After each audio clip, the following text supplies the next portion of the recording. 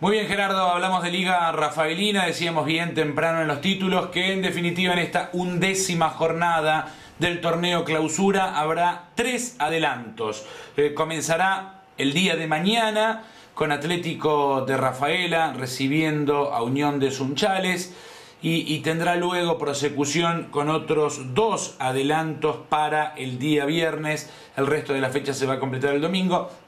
Sigo sin entenderlo, ¿no?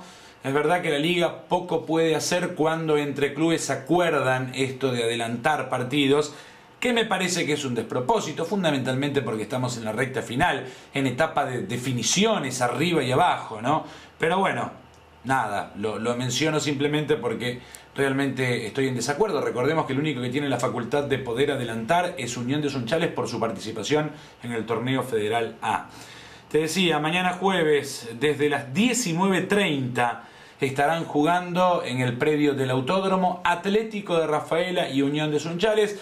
La crema con esta chance de quedarse con un triunfo y trasladarle presión luego a, a Benur, que jugará el viernes, a Peñarol y, y también a Florida, que lo harán el día domingo.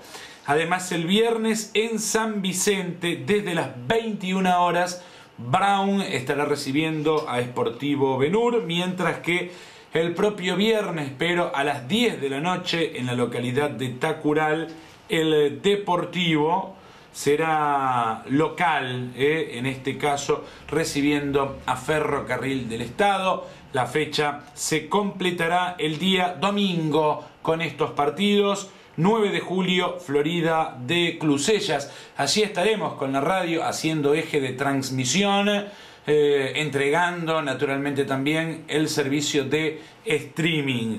Luego estará jugando Peñarol en Sunchales frente al Deportivo Libertad, donde estará Damián Torti eh, informando al instante lo que ocurra con la vía azulada, inclusive con pasajes de relato mientras que también en ese día domingo en Rafaela Esportivo Norte será local de Argentino de Humberto y el Deportivo Ramona hará lo propio frente a Quilmes. Habrá que prestar atención a estos dos partidos porque podría llegar a consumarse en caso de que se den algunos resultados la pérdida de la categoría por parte del conjunto humbertino.